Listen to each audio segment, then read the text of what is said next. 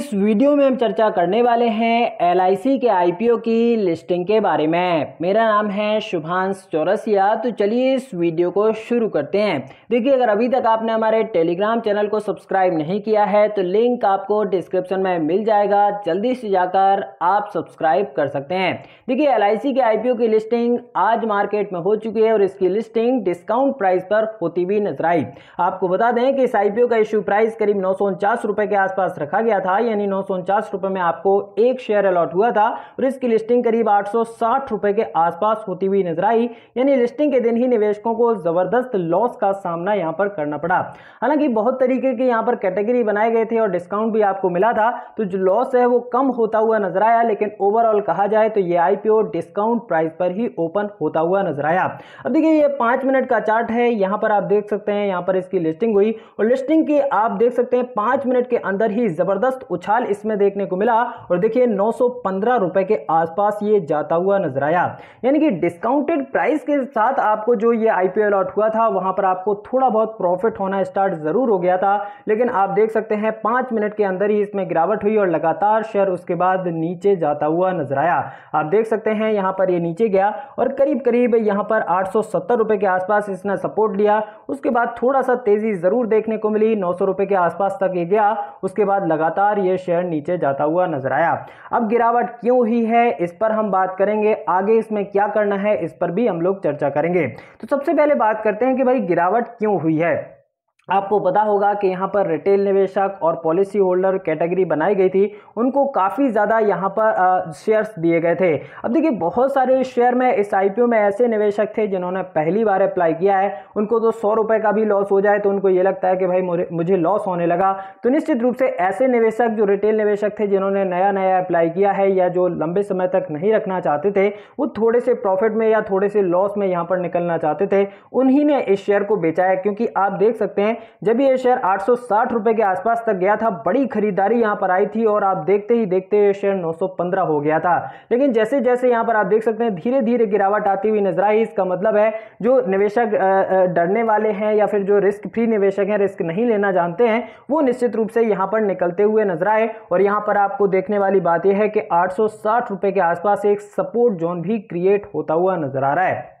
अब देखिए, यहाँ पर गिरावट से आपको डरना नहीं है। आज मार्केट में तेज़ी थी, लेकिन उसके बावजूद भी इसमें गिरावट हुई है, जो कि पहले से भी अनुमानित थी कि आईपीओ डिस्काउंट प्राइस पर ओपन होता हुआ नज़र आने वाला है। और वो वहाँ पर होता हुआ नज़र आया, कोई नई बात यहाँ पर नहीं हुई है। अब देखिए, आगे क्या करना है? मतलब अगर शेयर को होल्ड करके रखा है तो आगे क्या कर सकते हैं? मुझे ऐसा लगता है कि यहाँ पर जिस तरीके से गिरावट के साथ जो लिस्ट हुआ था, उसके बाद जो तेज़ी आई है, मुझे ऐसा लगता है कि निचले स्तरों से इसमें तेज़ी आने की गुंजाइश बचती है, क्योंकि निवेशक, जो बड़े निवेश निवेशक हैं, जो एन हैं क्यू हैं, या फिर जो बड़े इन्वेस्टर हैं, वो इंतज़ार कर रहे हैं कि ये कब जो ये शेयर है नीचे आए और हम इसमें बड़ी खरीदारी करें। तो आपको ये छोटी मोटी गिरावट से डरना नहीं है। अभी अगर आप रिटेल कैटेगरी में भी देखोगे तो आपको पाँच सौ के आसपास लॉस होगा। कोई बड़ा लॉस नहीं है। शेयर मार्केट में ये लॉस नॉर्मल है और लॉस अगर आप सहना जानते हैं तो निश्चित रूप से प्रॉफिट का मज़ा भी आपको आता है। तो मुझे ऐसा लगता है कि अभी आप, अगर आपने होल्ड करके रखा है तो आपको और होल्ड करना चाहिए। जो शॉर्ट टर्म वाले निवेशक हैं पंद्रह बीस दिन के लिए जो बने हुए हैं, उनके लिए मैं आपको बता दूँ कि करीब आठ सौ का आप स्टॉप लॉस लगा सकते हैं।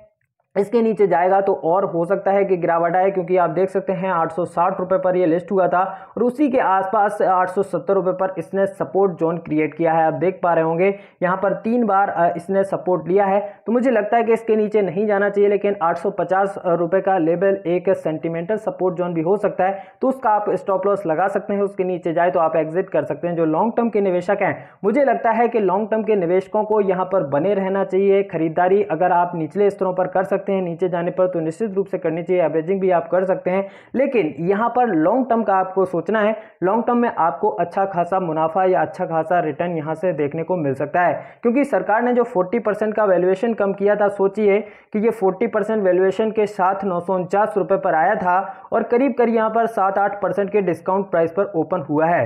सोचिए, अगर इसमें चालीस परसेंट का सरकार ने वैल्यूएशन कम नहीं किया होता और ये जो आईपीओ का जो प्राइस है, वो करीब पंद्रह सौ रुपए का होता। तो इसमें कितना ज़्यादा लॉस निवेशकों का होता हुआ नज़र आता।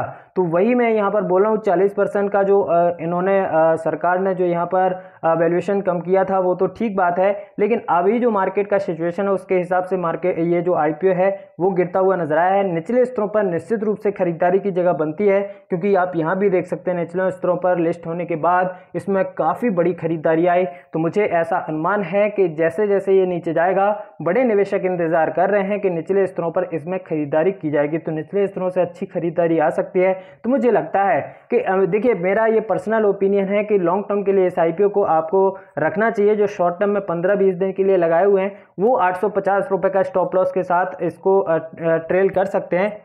इसमें बने रह सकते हैं। बाकी लॉन्ग टर्म के लिए आईपीओ अच्छा है, ये शेयर अच्छा है। और लॉन्ग टर्म में अच्छे रिटर्न आपको देखने को मिल सकते हैं। निचले स्तरों पर आपको इसमें एवरेजिंग भी कर सकते हैं, लेकिन थोड़ा सा वेट करना है। तो चार दिन देखिए शेयर कैसे परफॉर्म करता है, उसके हिसाब से आपको डिसीज़न लेना है। आपका क्या अनुमान है? आप इस शेयर के बारे में क्या सोचते हैं? लिस्टिंग के बाद इसका मूवमेंट अब किस डायरेक्शन में हो सकता है? आप हमें कमेंट बॉक्स में लिखकर ज़रूर बताएँ। आई थिंक वीडियो पसंद आया होगा। वीडियो पसंद आया तो लाइक शेयर ज़रूर करें। चैनल पर नए हैं तो सब्सक्राइब ज़रूर करें। धन्यवाद।